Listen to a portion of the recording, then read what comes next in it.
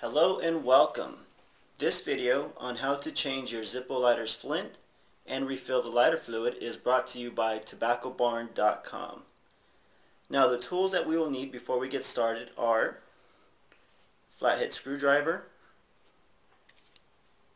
an extra Zippo flint, oops, some lighter fluid, and a paper clip. Now this is actually a brand new Zippo, so it has no flat lighter fluid in it. So let's put some in. Open the case, remove the insert, and if you flip it over and look at the bottom, you'll see this cotton strip. There's a little hole in there to kind of jab something in there and lift the strip up like that.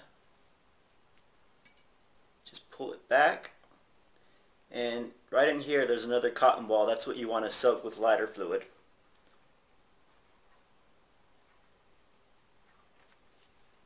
So we're just going to soak, soak, soak, soak, soak. Don't be afraid to squeeze the bottle. And that should be good.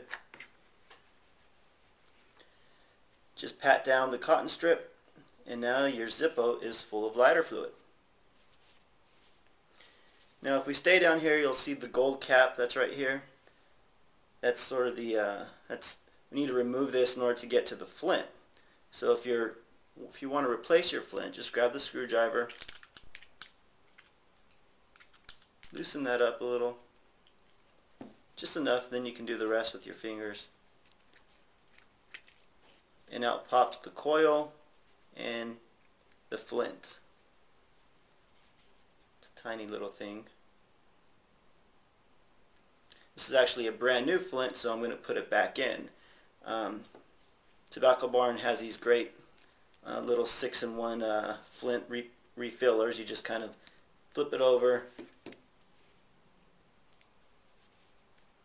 and then get the extra flint that you need.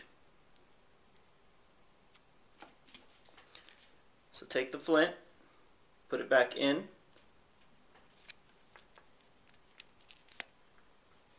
take the cap in the coil, reinsert,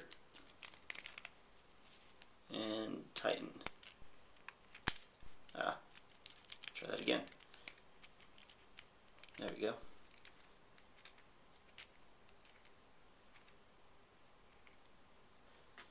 And just make sure that it fits nice and snug but don't overdo it alright put back in the case if your Zippo is brand new like mine or you haven't used it in a while and you're pulling it out of storage or some drawer lost in your room you need to prime the wick for the first time. It's always a good idea to prime it with just a little bit of lighter fluid. And all you do is you just sort of wet the wick. That's all it takes and then light. There you have it. Once again, this video is brought to you by tobaccobarn.com where you can buy your lighter fluid, Zippos, and extra flints. Thank you for your time. Take care.